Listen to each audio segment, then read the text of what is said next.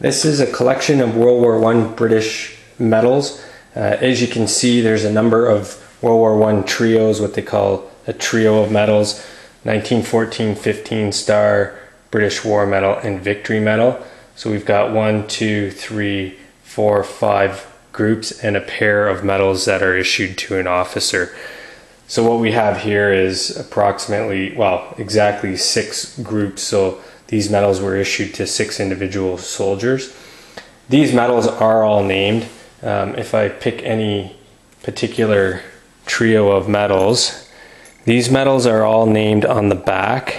The stars are named on the back. You can, the camera will pick it up here. These are, are inscribed here. It's a little bit hard to tell in the, the video with the tarnish, but this is, this group was issued to Private Al Rogers of the Rifle Brigade. So you've got your 1914 15 star, which is named on the back.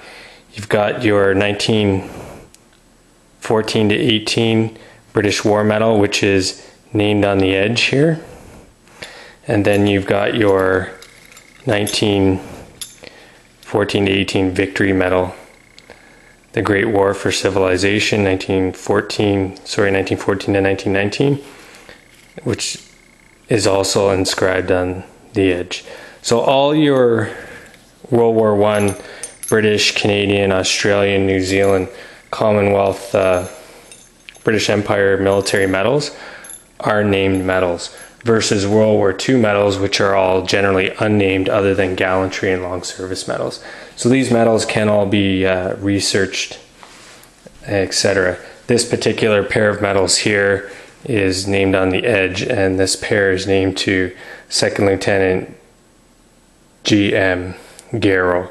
So officers generally don't have units on their medals. It's just their their rank and name.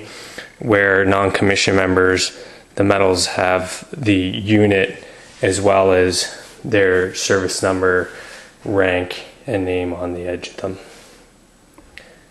Collection of World War One British military medals.